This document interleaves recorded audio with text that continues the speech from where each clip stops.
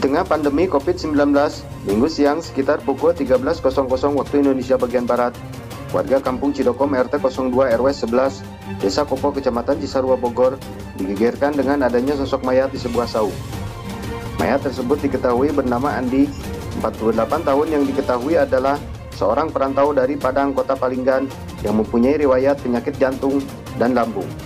Bahkan menurut keterangan dari istrinya, Nena Sumiati, bahwa Andi akan menjalani operasi terkait penyakitnya Senin besok di salah satu rumah sakit di wilayah Kabupaten Bogor. Warga awalnya takut untuk mengurusi mayat tersebut karena diketahui korban habis pulang bepergian dari luar Bogor.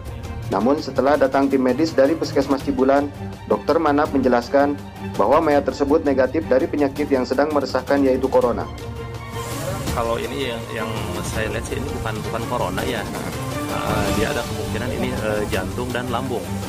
Uh, jadi saya harap masyarakat di sini jangan terlalu fobi ya, jangan terlalu takut juga, ya, tapi tetap kita harus waspada. Karena apa? Dengan efek karena dengan kita stres kita terlalu tinggi, akhirnya penyakit lain juga jadi gampang masuk juga lah ke tubuh kita, daya tahan tubuh kita nanti akan ikut menurun juga. Dokter pun menghimbau kepada keluarga dan warga untuk mengurusi mayat tersebut seperti biasa dan jangan takut karena dipastikan mayat tersebut bukan meninggal karena corona, melainkan karena penyakit jantung dan lambung yang selama ini dideritanya. Akhirnya warga pun mengurusi mayat tersebut seperti biasa. Dalam kejadian tersebut disaksikan para perangkat desa Kopo, juga perangkat kecamatan Cisarua. Palapa TV News mengabarkan dari Desa Kopo, Kecamatan Cisarua, Kabupaten Bogor, Jawa Barat.